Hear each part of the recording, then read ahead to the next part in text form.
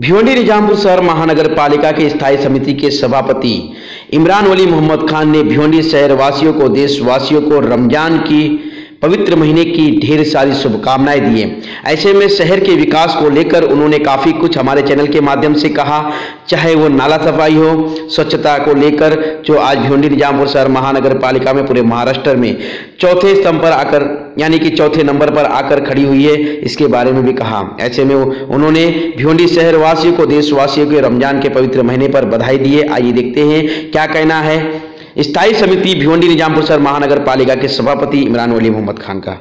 आज जुम्मा के दिन से पहला रोज़ा भिवंडी में शुरू हुआ है। तमाम भिवंडी वासियों और सभी मुसलमान भाइयों को मेरी तरफ़ से रमज़ान की मुबारकबाद। ये शहर में एक अच्छा वातावरण चल रहा है।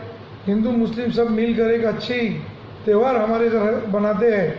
तो ये रमज़ान में भी सभी लोग मिलजुल कर रमज़ान का अच्छा प्रोग्राम रखेंगे। और कॉरपोरेशन की तरफ़ से हम लोगों ने अच्छे एक इंतज़ाम किए सफ़ाई के लिए जो अफ्तारी के बाद कचरा निकलता है, कई जगह रात में भी मार्केट वगैरह में, रात में भी गाड़ियाँ लगा के सब कचरा उठाया जाएगा और वार्ड में भी कहीं कहीं जो है घंटा गाड़ी लगा के रात रात में भी कचरा उठाने का काम करेंगे। दो टाइम गाड़ी लगाएँगे हम तो इफ्तारी बाद जो कचरा निकले वो उठाएँगे, एक सुबह कचरा उठेगा। तो तमाम भिवंडी वासियों को मेरी तरफ़ से मुबारकबाद। अच्छे से ये त्यौहार जाए ऐसी मैं उम्मीद करता हूँ। तो आज के लिए फ़िलहाल इतना ही। कल फिर मिलेंगे इसी समय, इसी चैनल पर। तब तक के लिए दीजिए इजाज़त धन्यवाद।